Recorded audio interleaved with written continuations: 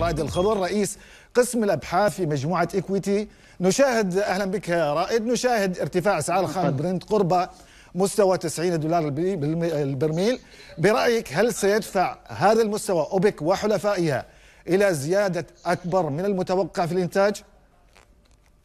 يعني نحن ننظر إلى أسعار النفط وهي تتفوق وترتفع بهذا الشكل ولكن في الوقت نفسه بنتيجة انه أنا عندي طلب عنيف قوي جدا وتجاهل كامل لكوفيد 19 أو الكورونا ومتحوراتها الجديدة والطلب لا يزال مستمر. في حين عندي المعروض لا يزال كجول نوعا ما أو أوبك بلس متمسكة بالزيادات الشهرية ب 400 ألف برميل فقط.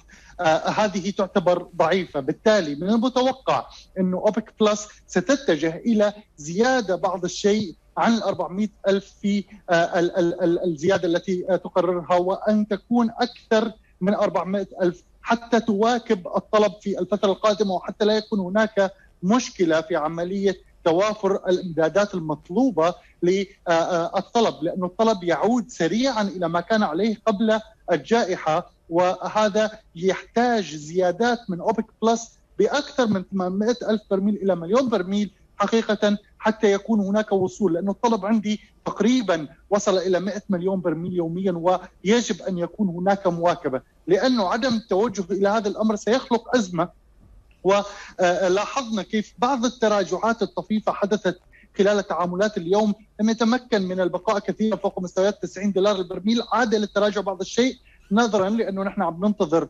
مخزونات النفط التي يقال بأنه سوف تكون نوعا ما أعلى من المتوقع وفي نفس الوقت انتظار وترقب لأوبك بلس من أنه يكون في نعم. عندنا قرار بالزيادة. نعم رائد لنذهب قليلا أيضا إلى العملات الرقمية يعني البيتكوين عاد من جديد إلى مستوى 39 ألف دولار دولار بعد الخسائر الحادة يعني هل الرغبة في المخاطرة ونشر العدوى في هذه اسواق الأسهم إلى العملات الرقمية هل يعني يوجد ترابط ما بين الأسواق الأسهم والعملات الرقمية؟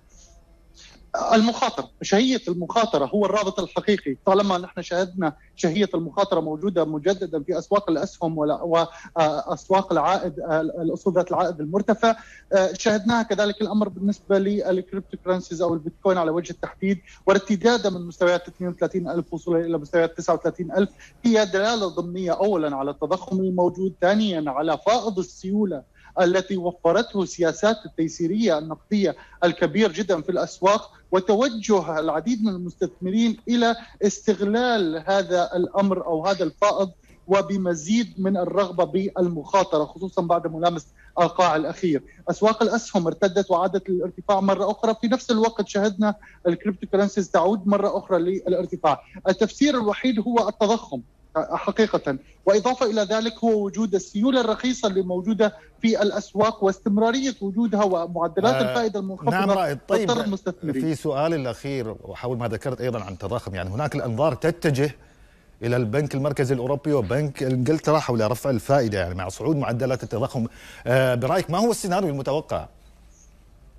بنك انجلترا المركزي من المتوقع أن يكون هو الأول في عملية تشديد السياسة النقديه ورفعها في أسعار الفائدة بواقع 25 نقطة أساس ووصولها إلى 0.5% واستمرار هذه الرفعات حتى شهر مايو ممكن يكون في عندنا عودة إلى مستويات 1% بالنسبة لأسعار الفائدة في المملكة المتحدة وهو أمر إيجابي وهي عملية احتواء للتعافي الاقتصادي الذي تحقق من السياسات التحفيزية. على عكس المركزي الأوروبي الذي لا تزال لا تزال مستويات التضخم بعيده نسبيا ولا يزال بحاجة إلى برامج التيسير النقدية. فبالتالي هذا يضع نعم. ضغط أكبر على نعم المركز الأوروبي الصورة واضحة الصورة واضحة. رائد الخضر رئيس قسم الأبحاث في مجموعة إكويتي. شكرا جزيلا.